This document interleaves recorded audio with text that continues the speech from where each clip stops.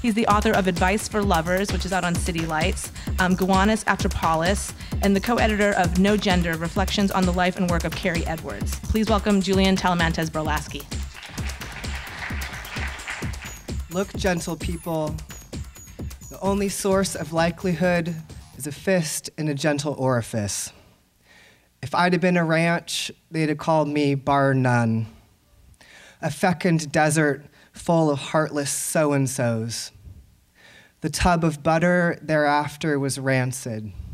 We put Zur and Zur mouth to rest along with the chickens in our maw. Hey, blood, hey, sucka, as like to one as to the other. Do you love your sibling as they do, as they do? Um, so, thank you all for coming. Um, it's a real honor for me to be reading with this lineup. Um, and thank you to the library for hosting um, and to Michelle for inviting me to this. Um, this is a poem called Banned Poetry Words, and it has an epigraph from the Wu Tang Clan. It's not the Russian, it's the Wu Tang Crushin'. Slip up and get craped like Suzette. Travel on to that erstwhile milieu, steeped in toxins, ever flushing them out.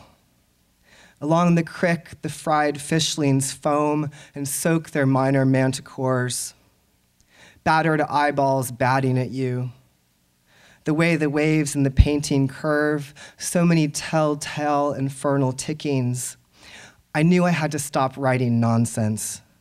Jack Spicer laughed and laughed, but Kim Lyons wasn't laughing at me, and Brenda Iijima definitely wasn't fucking laughing. And I used a poem with all the banned poetry words poetry, angels, filigree, aperture, rococo, chiaroscuro, especially fucking aperture, most banned poetry word. And there are more, I reckon. Paul's was thighs. So if you have any more to suggest to me, come tell me afterwards. Um, this is called Against Breeding, um, with apologies to pregnant people. Um, it really should be, it doesn't really apply to queers. It really should be like against idiots breeding. Against breeding for C.A. Conrad. Garbage gut humans should not continue ourselves. Can only come a frightful cropper. Hair bulbs, what I mistook to be a form in nature. Albatross with plastics crowding their gut. What Julie Patton is calling superfragia, lily of the valley, Veronica, heterophilia, snapdragon, nature preserve. Pulp them, Shropshire Constabulary, Queen of Haven, sailing for Caracas with a gun in its sling. Sissy Jesus hag, point to the exact place where the flies should go in the Ballo underpants, just where the points come to an end triangularly. 15,000 fish dead at the mouth of the Mississippi. Planes go sip, sip, saying to the poor people, Walk fast, walk like you're on hot coals. Matisse had to get up real close to see that was a bird. Turn that veal de gamba right forwards and added a noose. Even more cliche than peaches in a bowl, curvy long pear stem and butter dish suspended in air. Perhaps the stem is penetrating a clear butter dish, Conrad suggested and I knew I was being drawn into a funhouse of mirrors, but I couldn't stop. Odilon, Redon, Roger, and Angelica, why I am against breeding.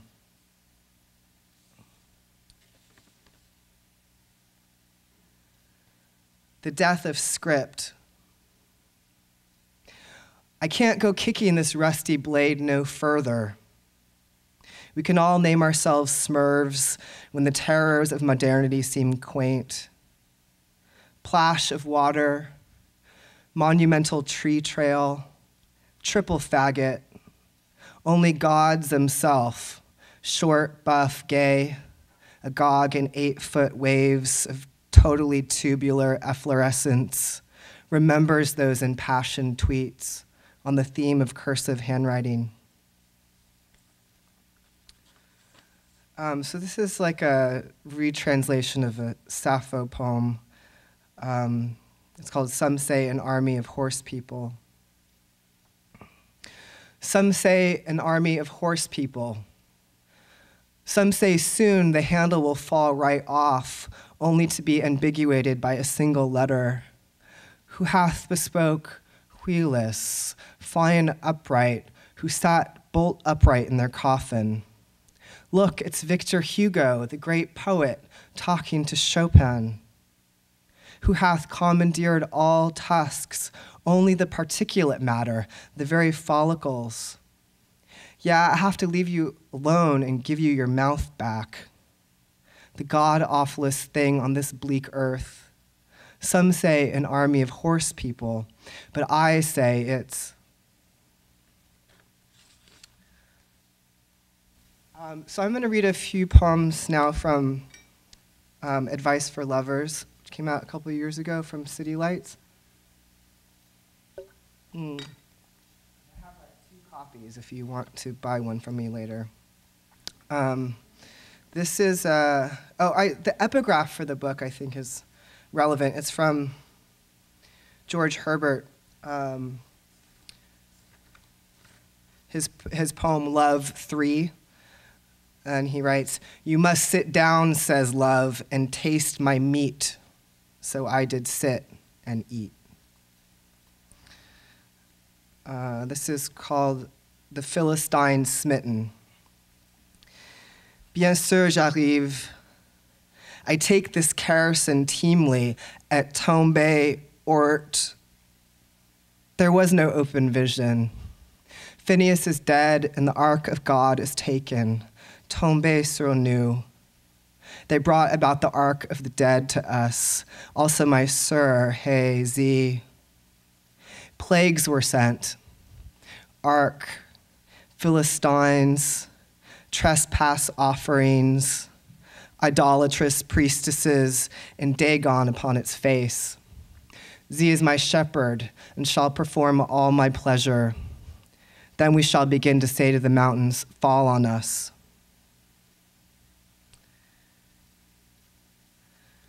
Um, this is called On Not Being Able to Perceive Angels. And it was set to music by um, the poets Brandon Brown and Alli Warren. So I'm going to try to sing how I remember they transliterated it or mutated it or whatever. On not being able to perceive angels. In the twilight, low, I stood before the twilight without even a moon, jacking up the artifice. The proverbial number of angels that could fit on the head of a pin. Before whom and in what habit I speak. Stop me at the very vestibule and rip up my ticket.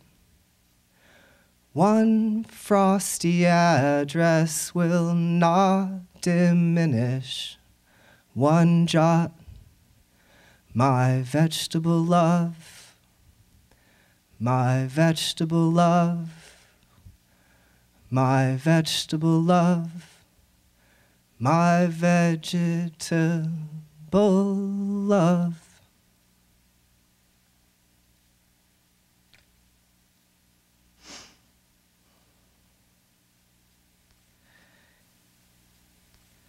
Deep image to Venus, and it has two epigraphs. One's from Elizabeth Marie Young, Eels Caught Bright Eyed in the Rafters, and one from Gary Snyder, horses gleaming and healing in the white sun. What horse went gleaming, headlong and chuffing? What ghost went wheezing, purple and chuffing? None. Meanwhile, the ants are fat on the fat, lugging the cakelet. The wind moored after that. to the bateau east, juggling the rigging, confounding the sailor with chest ringing, I send my song. I lost my joie de vivre, and so I sing this, since I hate to live. Venus, it's so unruly of the sheep to fuck me in the ass instead of sleep. Why don't you come here from out your grotto and take me in the front and make our motto, let's this or that, let's hard and then let's harder. Beast at my back, love at my garter. Um, and this is called On How to Transfigure the Body Utterly and has an epigraph from Elizabeth Barrett Browning I wail, I wail, and certes that is true. I practically ran to get out of all these lonesome shoes. Shut up inside the shop, I was raging like a bull.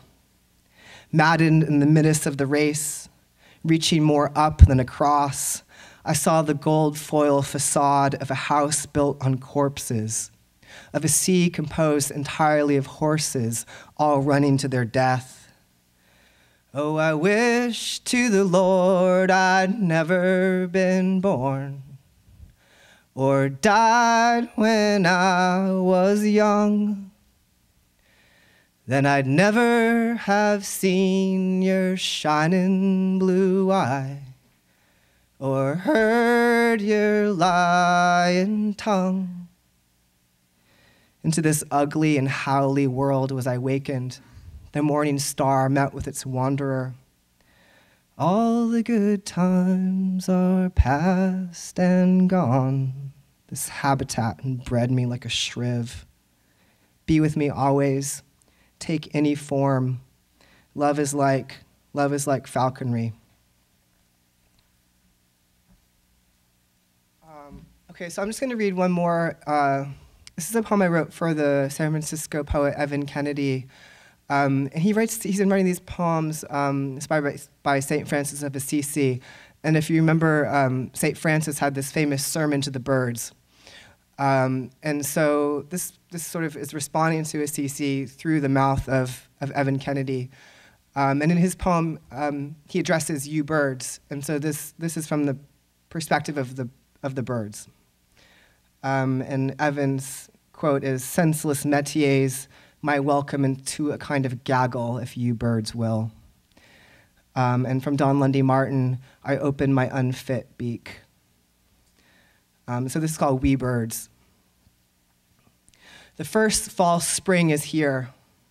The dirty snow is melting. We birds arch our neck for the worm, believe in turning a blind eye to get it.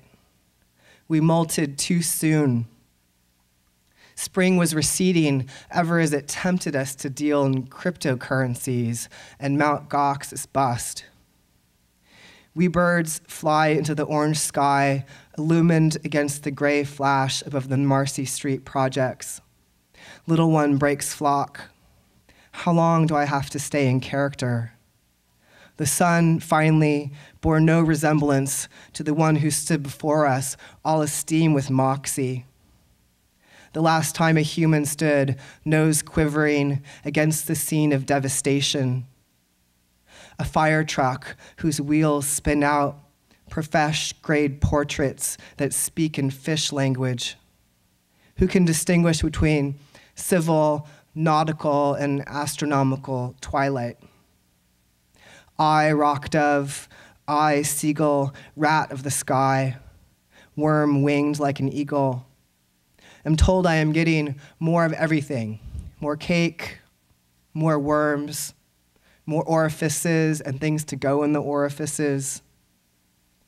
Two horses succeed where the truck failed, despite their clumsiness and their face blindness. I lost my fortune to the wild boar what gored me. I pressed my eye to the keyhole and fell away.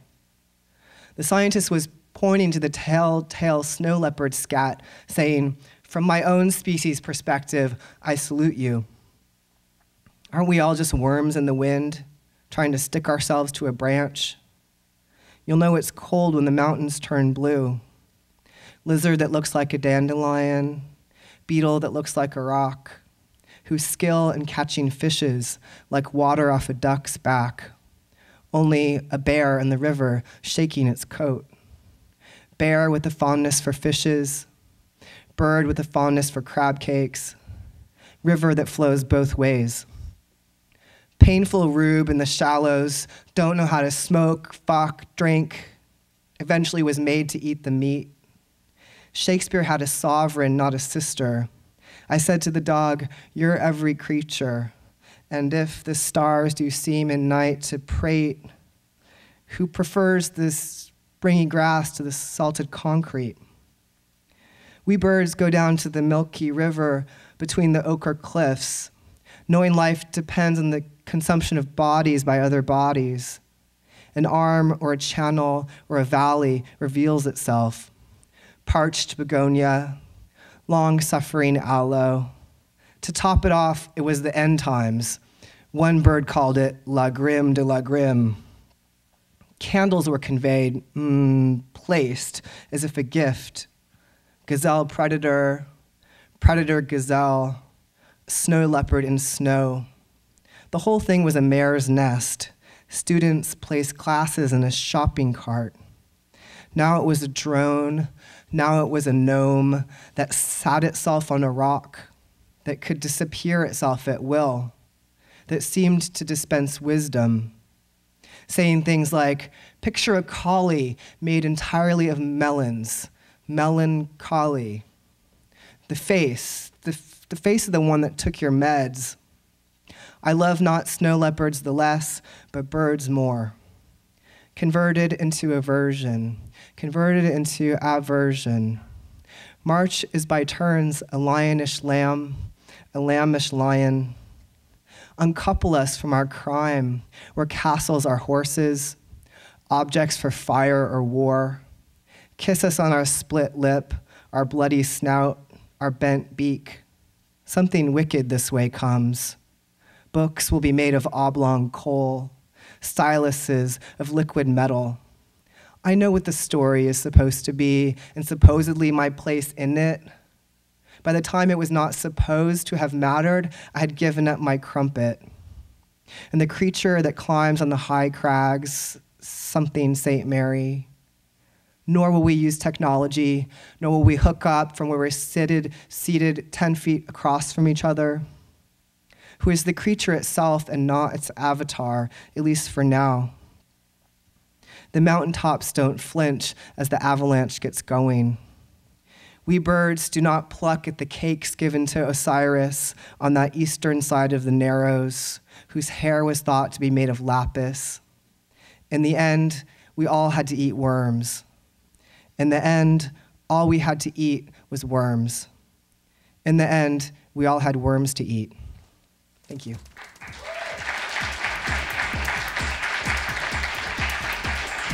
Thank you, Julian Talamantez Brolaski. There's books here. You can get them afterwards. Um, Advice for Lovers is amazing, so you should grab some.